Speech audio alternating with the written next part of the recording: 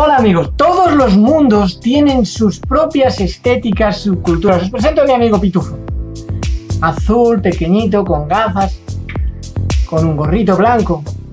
Los mundos viven subculturas, subgrupos, en todos ellos. Se mueve, se mueve el riesgo adictivo, en todos ellos.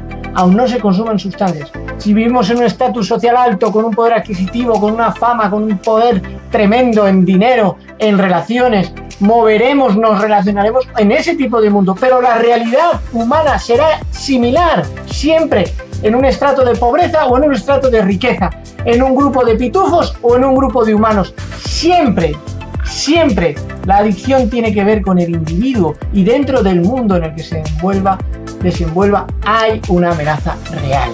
Por eso es un, es un proyecto educativo. Un abrazo amigos.